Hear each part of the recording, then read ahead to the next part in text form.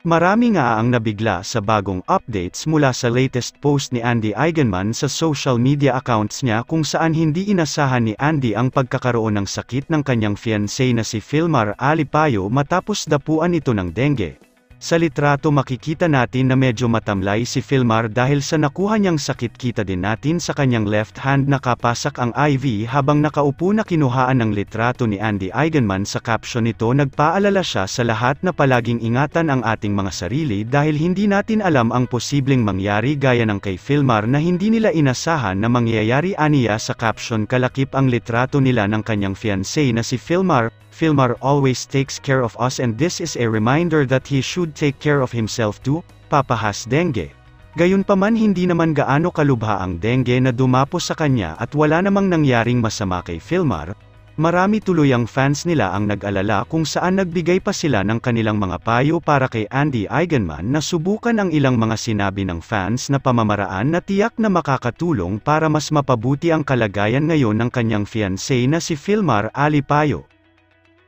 Samantala, nasa mabuting kalagayan naman ngayon ang kanilang mga anak kung saan makikita natin na super hands-on talaga si Andy sa kanyang mga anak at enjoy na enjoy ang dagat sa Siargao habang hilig ang pagsesurfang sa ngayon tigil muna si Andy at Filmar pati kanilang mga anak dahil sa kalagayan ngayon ni Filmar, humingi naman ng panalangin si Andy Eigenman sa kanyang mga fans sa mabilisang recovery ni Filmar para sa dumapong sakit na dengue.